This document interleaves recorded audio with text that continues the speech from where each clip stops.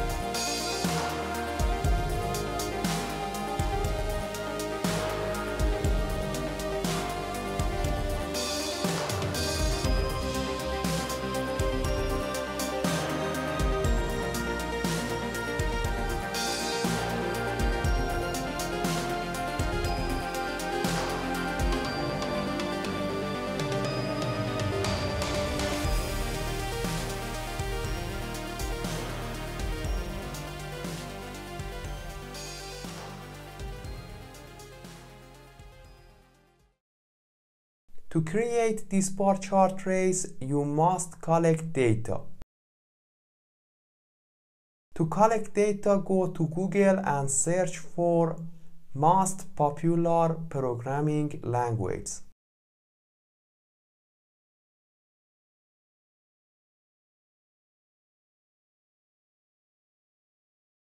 You can find a lot of websites for collect data like this one.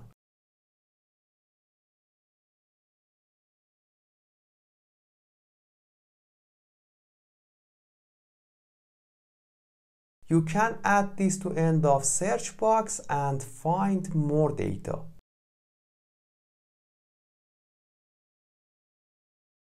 You can use market share too.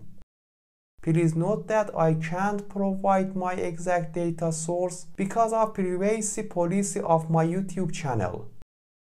After collecting and editing a lot of data, it will have a format like this.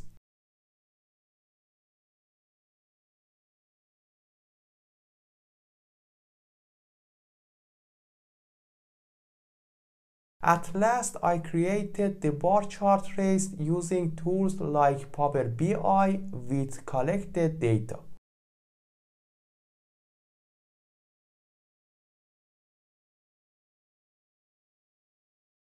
After creating the bar chart race, I used my mobile phone to record video from created bar chart race.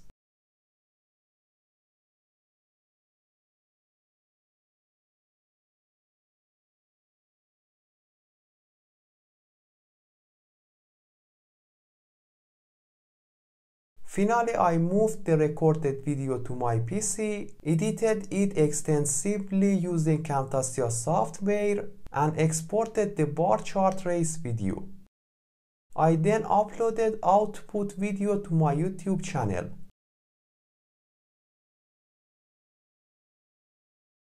Thank you very much for watching this video. Please like this video and subscribe my YouTube channel.